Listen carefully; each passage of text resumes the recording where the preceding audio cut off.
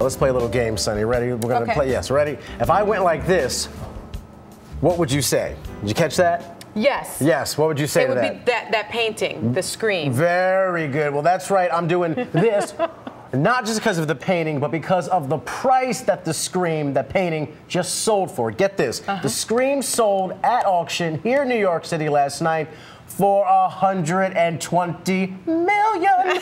That is a record for a piece of artwork and is more than $13 million more than the previous record. The name of the buyer, though, with the deep pockets, wasn't released. Deep pockets, to say the least. The painting that was sold is one of four Screams, actually, but it's the only one now in private hands. If you have $120 million to spend in art, hmm.